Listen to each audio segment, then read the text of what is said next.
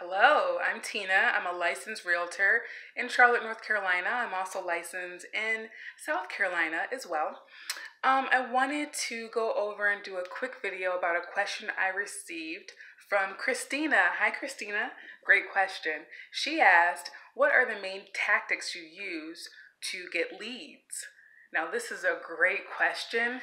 I'll tell you that some realtors don't want to tell you because they had to learn the hard way and they also don't want to share because they don't want anyone else to infringe on their business. But I'm willing to share. Um, I wrote a quick list so I wouldn't get off topic, but I don't know how succinct I can be. I'm going to try to get through the list in under 12 minutes. So here we go. The first the first way I got leads in the beginning was doing open houses. This can be a great way to get leads. Um, even if you don't have your own listings in the beginning, many don't. You can do open houses for your colleagues in your office or in your firm. I did open houses every single weekend and it just wasn't my thing. I mentioned in one of my other videos that open houses just was not my thing, but it can work for some people. You're getting people who who are looking at houses who, you know, potentially want to buy that house or another house in the neighborhood. So you have their contact information and just be prepared to show them other houses in a range of different um, price ranges so that so that you can show them how much they can afford and what uh, what else is in the area. So work that list. You have some context there. Another way that you can get leads is through your company. So my company used to send me leads. Most of them, I'll tell you, were dead end leads and they didn't lead anywhere, but occasionally it would be something that led to a sale. So that's another way. And it, it comes out of your commission, I'm sure. It's just part of the service that your firm offers, and that's what they offer you for being with that firm. So some do provide leads for you, and that's something to consider when you join a firm. Um, I would say that mailers are really helpful as well. That's when you send a you know, I can help you buy a house or I can help you sell a house. For instance, I I sold my house and I live in a rental right now. I sold a house to the leasing director in my office. So right away he knew I was a realtor. You know, he knew me as a realtor initially, and then we built a friendship. We built a friendship over that, and then all of a sudden he said he wanted to buy a house. So I'm the the great person that will help him buy a house because he knows me. Um, so that leads me into what Ryan Serhant would say. He is a very well known realtor in New York. He has his own show on Bravo. You might know who he is. Um, he says that he goes to coffee shops and meets five people a day.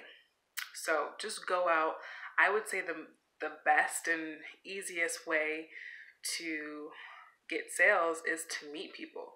Do not be a shy realtor. I had a friend who went out to restaurants, left a really good tip, and just told the waitress or waiter, hey, um, if you ever need to buy or sell a house, let me know. I can help you through the home buying process, through the home selling process. Here's my number, here's my card. So everywhere you go, she did very well for herself. She would have, you know, four clients at a time, and that was on a slow season for her.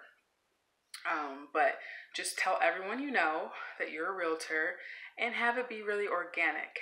Uh, do what you love. It, church is also a great resource to network. And let's be real, I mean, church is a great networking tool if you go to church. If you don't go to church, you might want to start. um, church and Bible study is a great way to get to know people in your community, and it's a great resource to find clients and leads. Um, Boomtown. Have you heard of it? It's a lead generating system. And I worked with a group for a very short time, just getting started. I was an assistant um, when I first got my license. And they used to spend all day, this team used to spend all day in the office calling the leads that they got from this this lead generation generator system called Boomtown that's spelled B O O M Town. Um, it can be successful. I've never used it before, but they did very well. Um, I don't know if I mentioned the flyers. So, neighborhood walking. If you don't like walking, knocking on doors, that's fine. But during the day, um, you should create your either your own own PDFs, some flyers that just says your maybe your recent sales and you know that you can help them buy or sell their house depending on your market and buy or sell a house and put it in their mailboxes. Make sure that you don't put it in their mailbox directly, but the mailbox underneath the mailbox so that you're you're being legal because it is illegal to put a flyer in someone's mailbox. You should know that. Um, so yeah, and also I did Vistaprint, which is a service that actually does a whole lot. They do business cards, but they also do postcards and marketing materials, websites. And I created a mailer. They actually created a mailer for me, and I approved it, and then I bought it. I uploaded my list of everyone in my apartment rental community, and I sent them a New Year's, um, Happy New Year's postcard, and let them know that if they needed to when the time is right to buy a house, they can come to me and ask me any questions. Here's my contact number. So that is a great, you know, I'm I'm working where I am. I'm renting. So I'm going to talk to my people in my community, in my rental community. That is a hot spot for me. It might not work for everyone else, but that's you have to be creative. Just don't be shy. Um, with the group that I mentioned, they had a, a dedicated person on their team that all he did was go while they were calling their leads on the phones all day, he, this person would go out and deliver their flyers to the, their different neighborhoods. And they would get so many calls from those flyers. It works sometimes initially, but sometimes it takes about six months of doing those flyers and you can get some really good business from the flyers. They don't have to be fancy. You can do them yourself, or you can use a, software or a company like I mentioned, Vistaprint. Um, other things that I can say once you get your business started, word of mouth is honestly the best. You don't have to buy a Zillow profile, but um, letting your customers know from the beginning that you work on referrals and that your reviews really are important to your business and that if they tell your fr- their friends and family about you if they had a great experience let them know that that you um, are in business and tell them about what a great job you did and get reviews on your zillow profile so that um, people can research you on the internet get your own website that just um, tells different keywords about real estate write real estate articles if you're a techie kind of person, you might have a have a website that tells what you've done. I wrote an article for one of the big online magazines in Charlotte about the territory that I was working in at the time, and it was kind of like a, a new and upcoming uh, transity neighborhood that was really popular. And I wrote an article about it, and I put it in my neighborhood that I lived in, and I put it on the Facebook page, everything. So just get your name out there. When you Google my name, you'll see the article. So do that.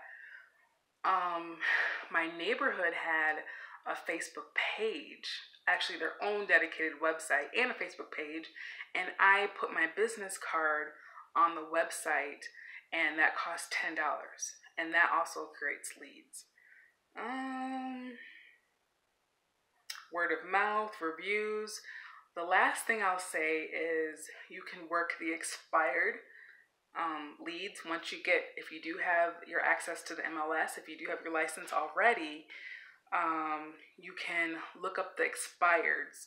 And as soon as they expire, you can contact them because that means that they didn't sell their house. You can um, examine why they didn't sell their house and think of creative ways of how you're going to help that person sell their house. So just work it every day, have confidence, Um, whatever you do, do it consistently and don't give up. I hope these tips have helped you. And if you have any more questions, contact me. I'm also on Instagram. Hit me up.